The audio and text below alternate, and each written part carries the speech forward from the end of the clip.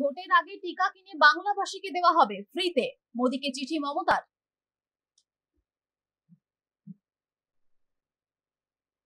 ভোটের আগে রাজ্যে বিনামূল্যে গণ টিকাকরণের প্রতিশ্রুতি দিয়েছিলেন মমতা বন্দ্যোপাধ্যায়।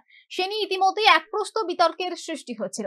এবার প্রধানমন্ত্রীকে চিঠি দিয়ে মমতা জানালেন, ভোটের আগে পশ্চিমবঙ্গের সব নাগরিককে বিনামূল্যে টিকাকরণের জন্য অগ্রাধিকার ভিত্তিতে টিকা কিনতে চায় রাজ্য সরকার। ভোটের আগে বাংলার সকল নাগরিকের স্বাস্থ্য নিয়ে উদ্বিগ্ন মমতা চিঠি দিলেন নরেন্দ্র মোদীকে। তিনি লিখেছেন, স্বাস্থ্যকর্মী, পুলিশকর্মী, পুরকর্মী ও অন্যান্য প্রথম সারির কোভিড যোদ্ধাদের দ্রুত কোভিড ভ্যাকসিন দেওয়ার ব্যবস্থা করেছে। ভোটমুখী পশ্চিমবঙ্গে নিরাপদ নির্বাচনের জন্য সকল সরকারি ও আধা সরকারি কর্মীদের টিকাকরণ আবশ্যক। তবে আশঙ্কার বিষয়, নির্বাচনের জন্য টিকা না নিয়ে বহু মানুষ ভোট কেন্দ্রে হাজির হবেন।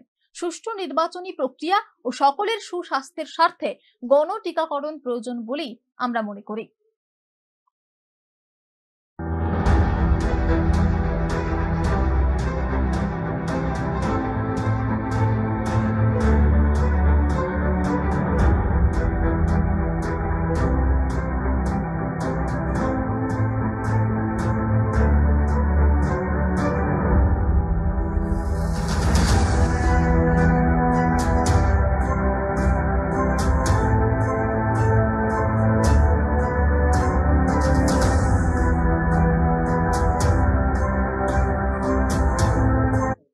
জানুয়ারি থেকে গোটা দেশে ধাপে ধাপে টিকাকরণ কর্মসূচি শুরু করেছে মোদী সরকার।